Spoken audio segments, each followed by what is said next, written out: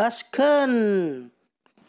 Oke teman-teman, hari ini saya akan memberitahu cara bagaimana kita merawat akuarium kita dan membersihkan serta merawat ikan kesayangan kita. Oke, pertama-tama kita kuras dulu ya airnya dan lepaskan mesin pompa untuk filter air akuarium kita ya sekalian aja sih dibersihin. Sebelum itu tapi hewan kita itu harus dimasukin ke ember ya harus dipindahin dari akuariumnya. Nah ini biar seger dia kita nyalain keran. Oke. Ya satu lagi dilepas. Oke sudah. Nah biarkan air ini sisa sedikit ya guys untuk ngebilas-bilas pinggiran kacanya nanti. Oke kita ambil selangnya. Oke kita harus siapkan spons ya. Sama uh, odol. Ya odol atau pasta gigi ya. Oke sudah kita buka. Langsung saja kita oleskan ke sponsnya. Nah diratakan dengan tangan. Seperti ini teman-teman lalu kita celupkan dikit langsung digosokkan saja teman-teman ya. Ya ya sesuai selera aja sih gosoknya. Yang penting rata ya.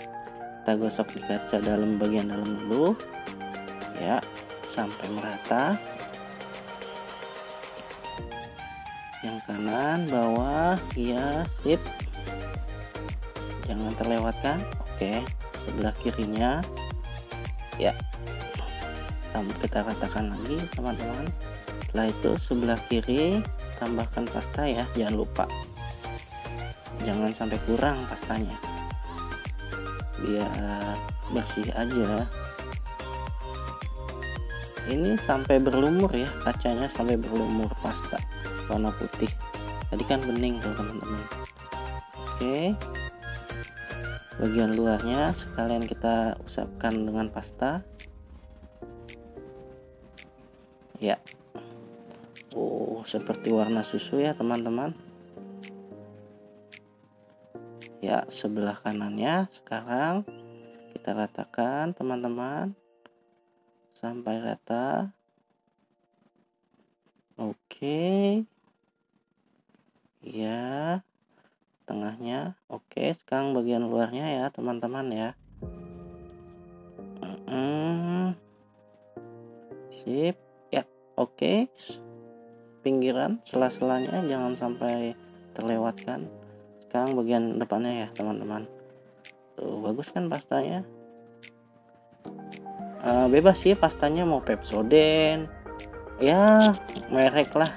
Kalau saya sih Pepsodent karena putih ya. Kalau kan ada tuh yang close up warna hijau. Ada juga Pepsodent yang warna biru. Tapi saya lebih cenderung ke warna putih ya original ya oke itu bagian luarnya diusap hingga rata.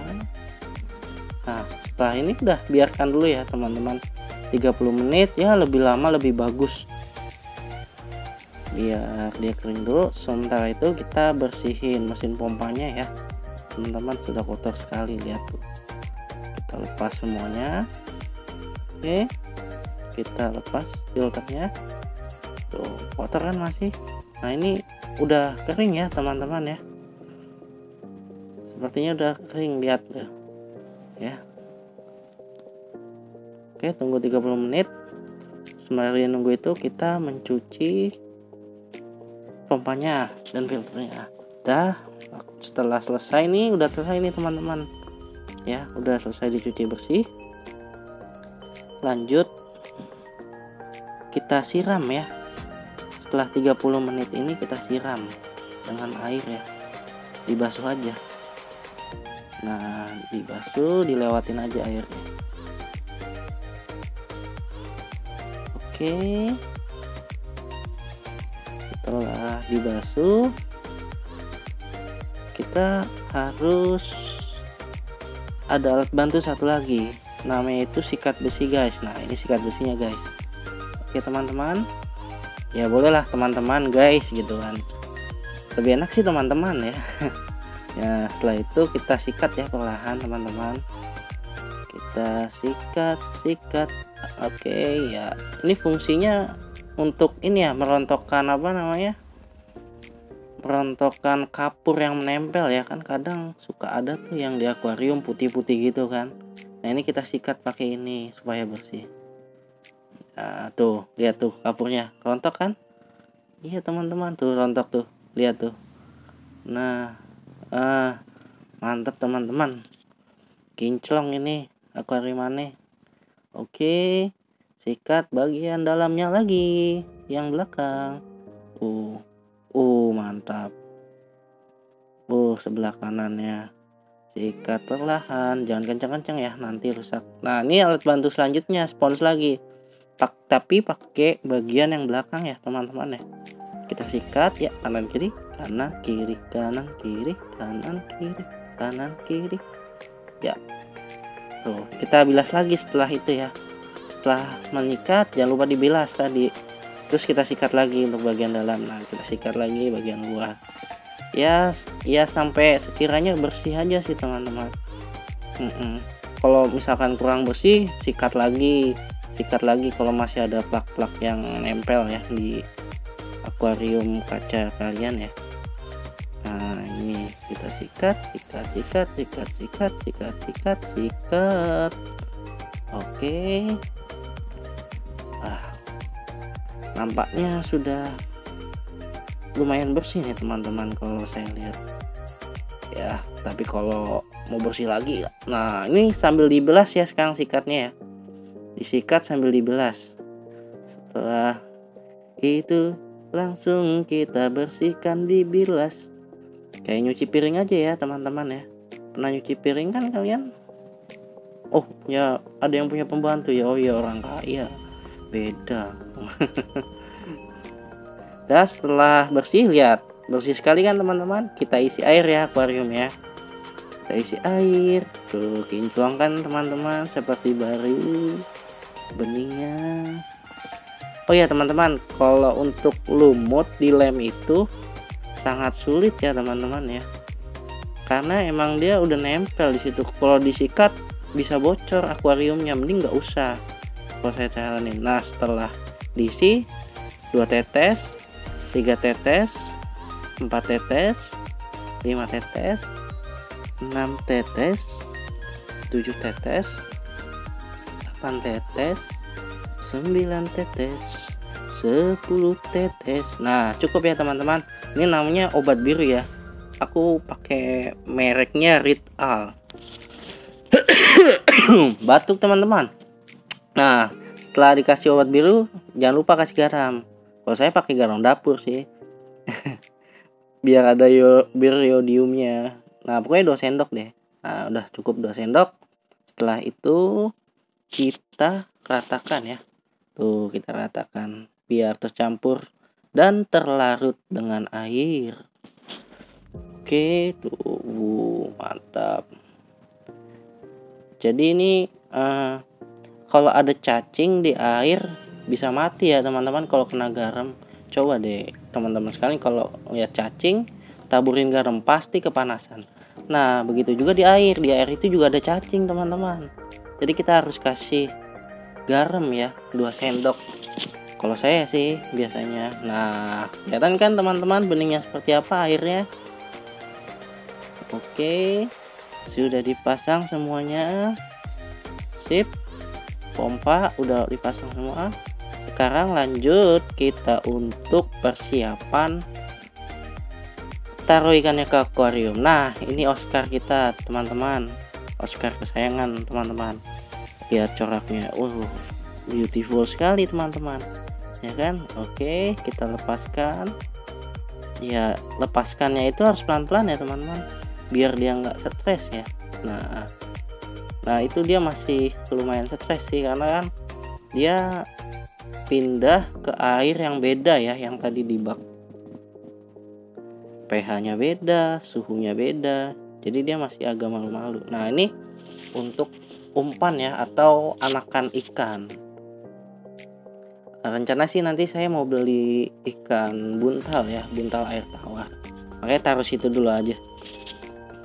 Untuk sementara ada umpan biar Oscarnya nggak lapar nih teman-teman.